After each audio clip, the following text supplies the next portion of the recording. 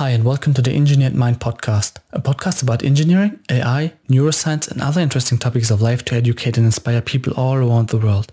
I'm your host, Jousef, and for this episode of the podcast, I welcome Alexey Grigorev.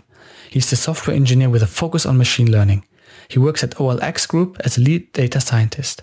Alexey is the Kaggle master and he wrote a couple of books. One of them is the Mastering Java for Data Science, and now he's working on another one, Machine Learning Bookcamp.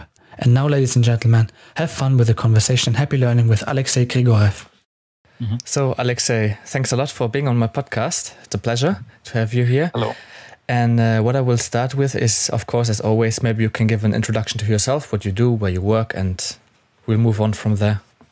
Mm-hmm. Hi, yeah, my name is Alexey. I live in Berlin. Um, uh, I've been in uh, Berlin for five years, and um, uh, before, I'm I'm originally from Russia, so I lived there in far east of Russia. Um, finished my school there. Uh, finished graduated from university, and then after graduating, I uh, moved to in part of Russia. Worked there for a while. Uh, first, I worked as a Java developer.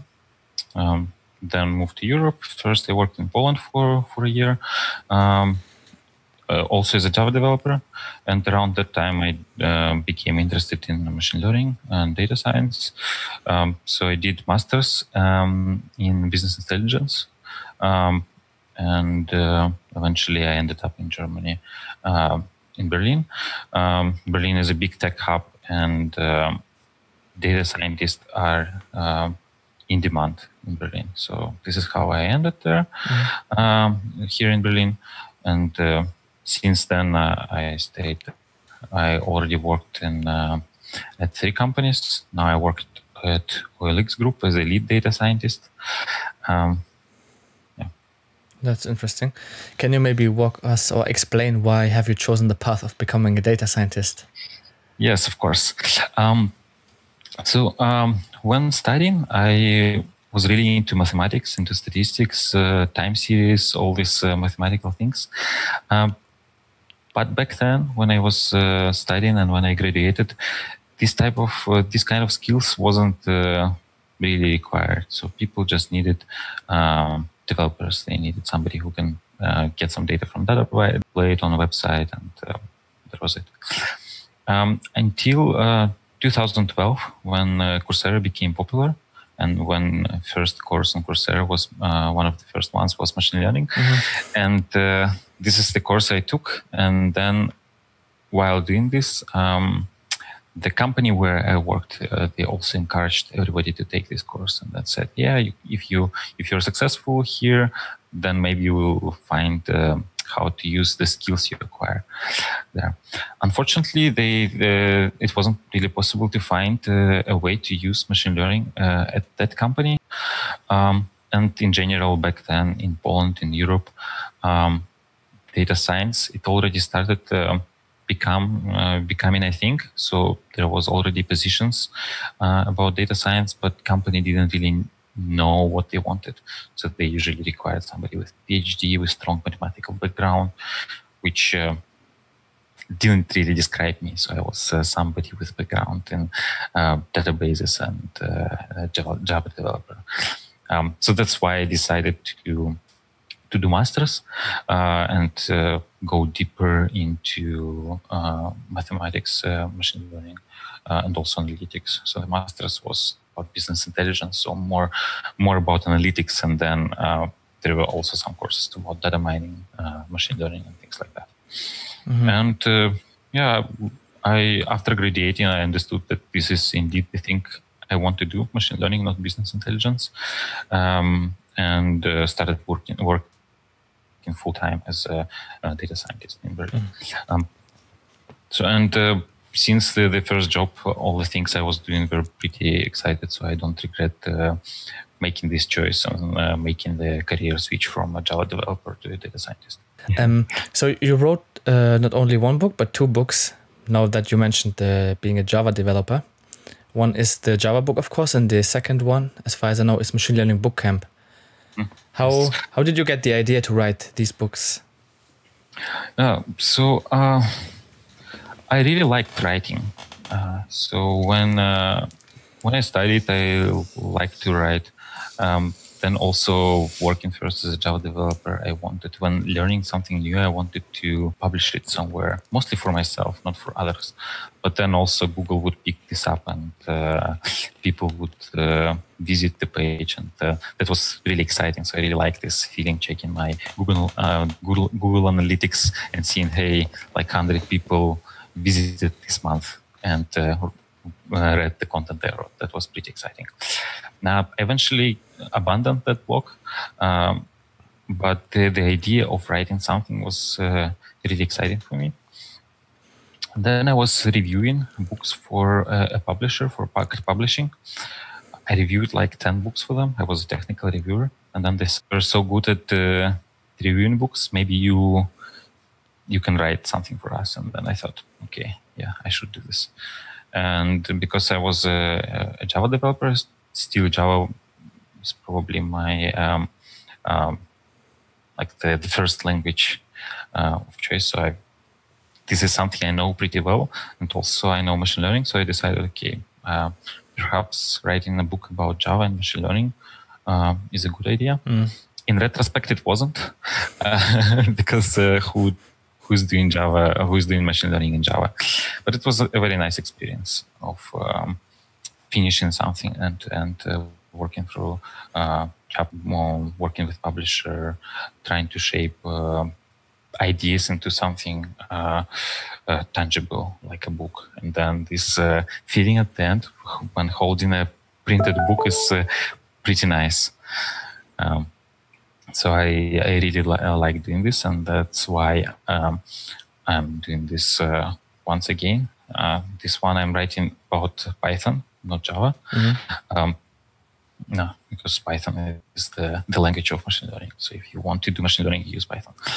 And, and then I wanted to take a slightly different approach, and then um, a different approach to learning.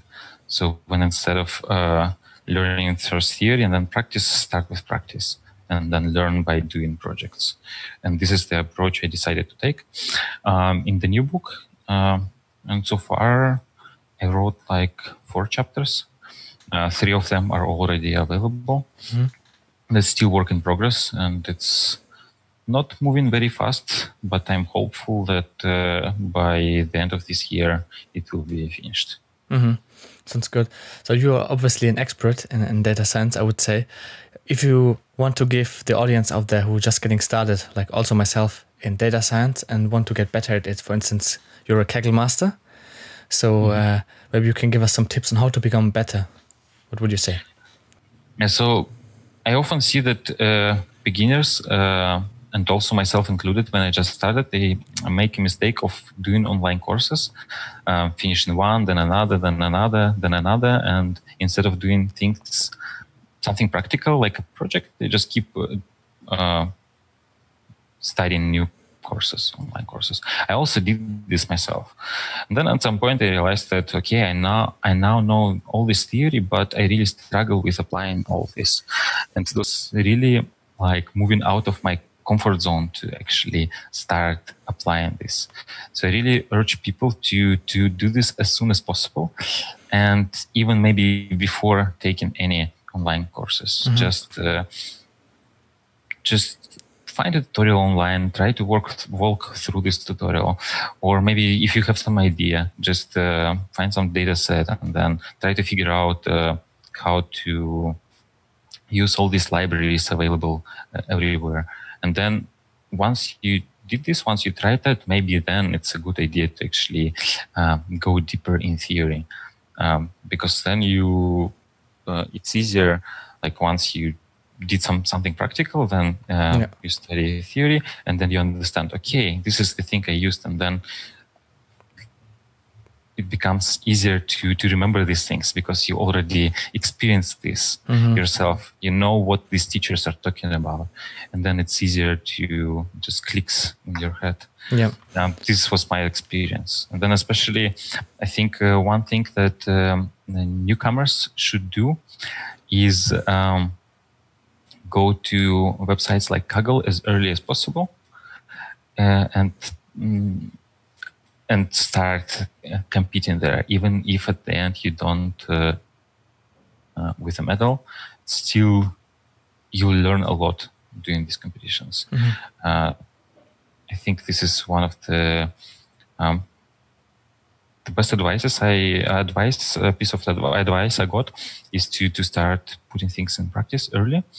And I myself was resistant, so I didn't want to go to Kaggle because I had this feeling: oh, I don't know so many things. I'm afraid I will not do anything there.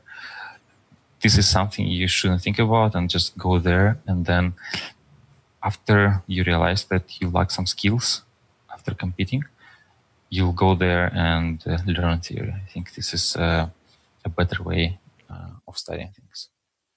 Mm-hmm. Interesting. So obviously you did this a lot of times in Kaggle. What would you say? Um, how to become a Kaggle master? Do you ha- have to do it all over again, like all these iteration steps? Do a competition, find out your what you're weak in, and then optimize from there on. Would you recommend anything else?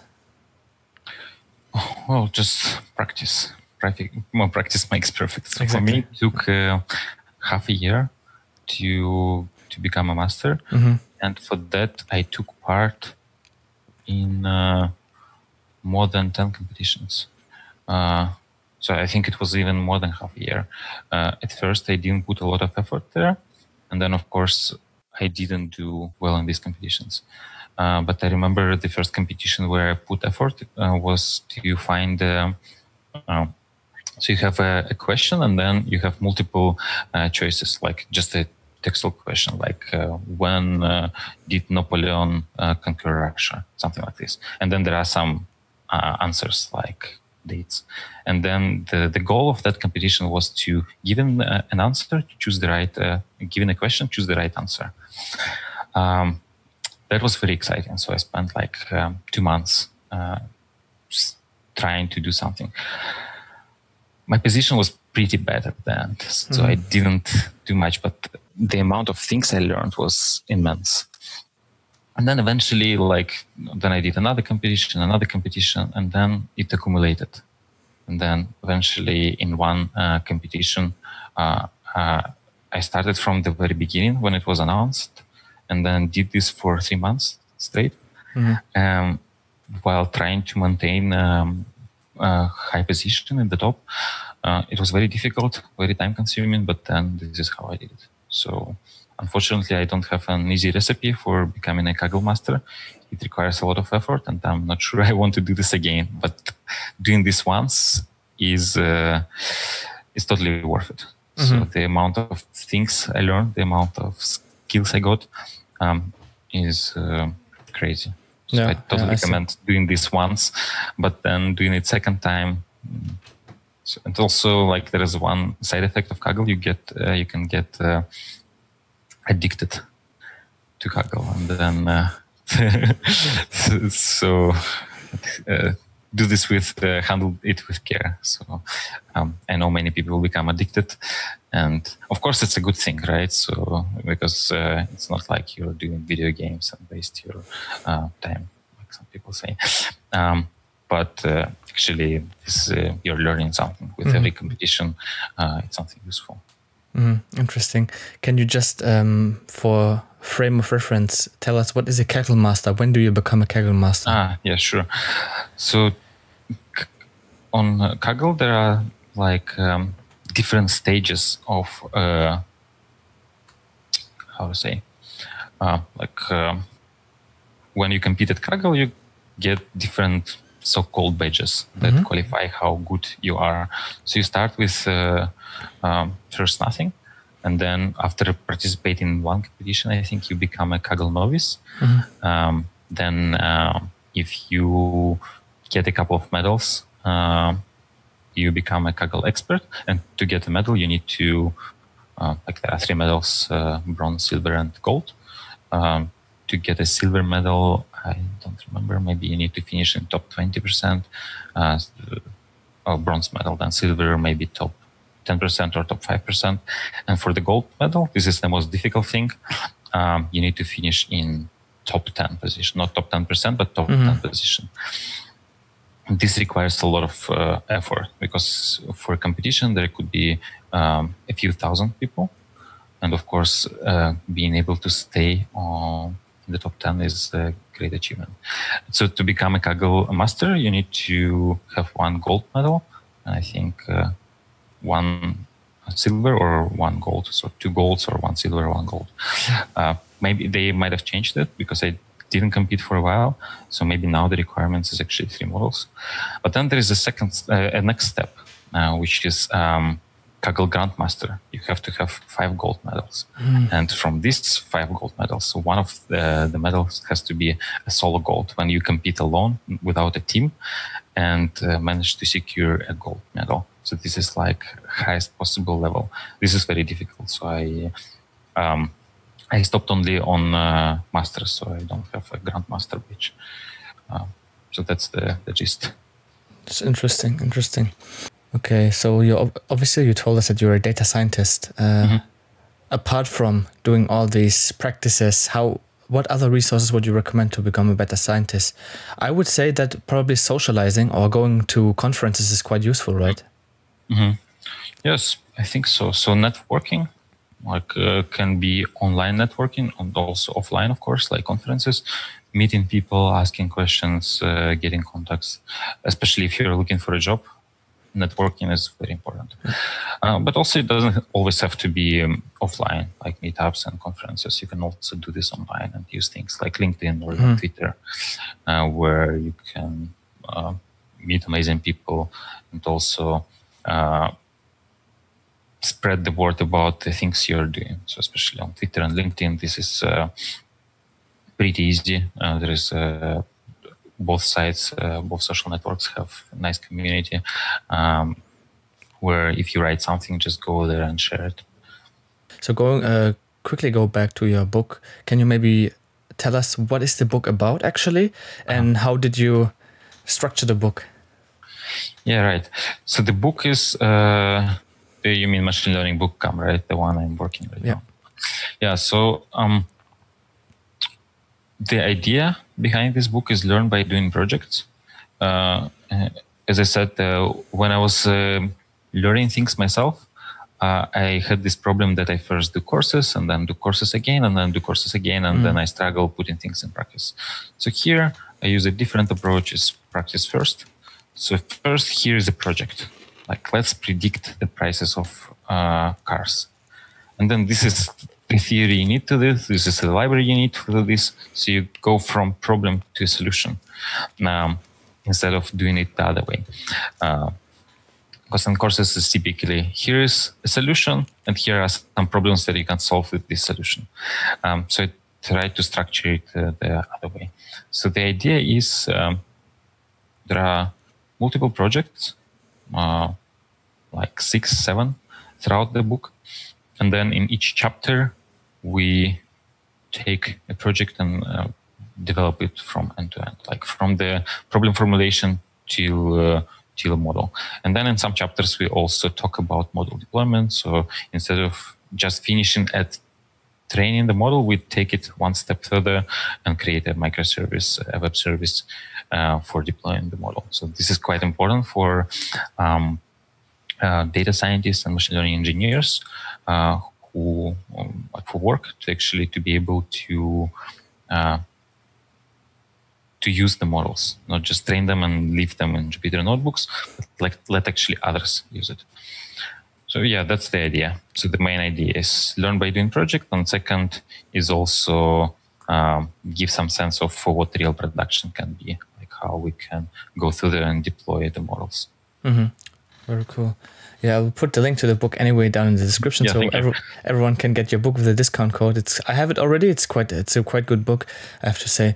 So one last thing I want to touch on is uh, you also did something very cool, which I saw I think on Twitter, is that you have a GitHub repo with some data science questions mm-hmm. where people can participate. Maybe you can give us a little bit of insight there. Yeah. So the idea of um, preparing a list of questions is not something new I did this uh, five years ago for the first time when I was uh, myself looking for a job mm-hmm. uh, in data science. So I found uh, like all the questions I could about data science and then put them into a blog post. And then that blog post received a lot of attention, so a lot of visitors.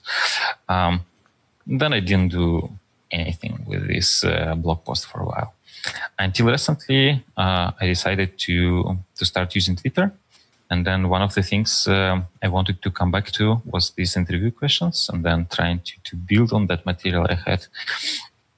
And then instead of building on this, I, thought that the questions I had are a bit outdated, so I probably should uh, uh, do something new. So I decided to to to come up with new questions that, uh, based on my more recent experience, also interviewing people, not just being uh, uh, a candidate. Um, so I put all this together and then. Um, first shared it on Twitter, then uh, published a blog post. Mm. then somebody said, "But hey, what about the answers?" So I didn't put any answers, of course, because I, I already had like 160 questions there. It was too difficult for me to uh, to manage that. And also the idea was that people who use this list of questions they would find the answers themselves. Um, but eventually, uh, somebody suggested, "But how about you create a GitHub repo and then we'll just post uh, answers there?" And this is what I did. Uh, first, it was just a GitHub repo, but then um, in GitHub, there is a thing called GitHub Pages, which makes it extremely simple to create, to convert um, GitHub repository into a web page, which I did recently. And then now everyone can access it. It's right now just a simple website that people can just go visit and uh, uh, read things. So, of course, um, it's mostly questions and the answers are given by the community. So it's mm-hmm. not uh, me who, who writes answers. Um, I only came up with questions, but already like 30 people contributed uh, the answers. And then you can just go there and check what these people wrote. And then also, maybe if there is a mistake, you can correct it. Or if there are some questions without answers, there are still like 60 of them without answers. You can also go there, uh, uh, find the answer and contribute. And everybody will uh, be able to use these answers in preparation. But of course, um, you should handle it with care because these uh, uh, answers are prepared by the community, and often these are people who are only um, starting their journey on becoming data scientists. So these answers might not always be 100% correct. Some people also commented that they are shallow answers. They don't show that the, like the answers don't show that people really know things. Um, so of course, I don't think it's that serious, but uh, uh, I wouldn't use it as a single source of truth when preparing for data science interview. And of course, if you see a way to improve the answers, please do. Everybody will uh, benefit from that. Mm, that's great. That's great. So uh, one last question for you is if you if the phone rings, that's always a question I like to ask. If the phone rings now and 18 year old Alexey is on the phone, what would you tell him? Except, except of course, to say don't do too many courses. What would you tell him?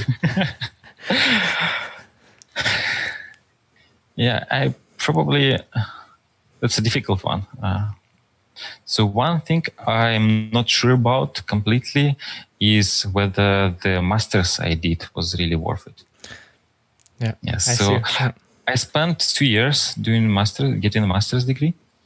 It was fun. I met a lot of amazing people and I learned many things.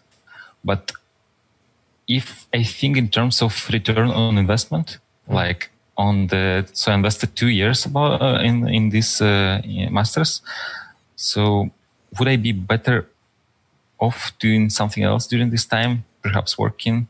I don't know. So maybe I would tell uh, young, my younger self is uh, uh, instead of doing masters, just start uh, working. So bachelor, I think, gives enough background to actually be able to. And now with uh, the demand uh, that uh, uh, since data science uh, skills are still in demand, um, masters might not always be really necessary. Mm-hmm. So I would just suggest instead of getting into masters, try to work for these two years and then I think career-wise, it's uh, a better time investment. Mm, that's a very of good course, advice. Yes. so uh, it's kind of mm, this piece of advice might be mm, not all people will really take this seriously because uh, masters is a good thing, but um, I think in terms of uh, career, um, spending two years, uh, like let's say um, you start your career now and you have two choices do masters and then start working as a junior or start working as a junior now and then in two years you probably become a middle data scientist mm. right? And then uh, in two years it's already like career progression for the person without masters is already two years ahead. And then maybe in five years this first person is already a team lead while second one is only trying to get a, to become a senior. I don't know.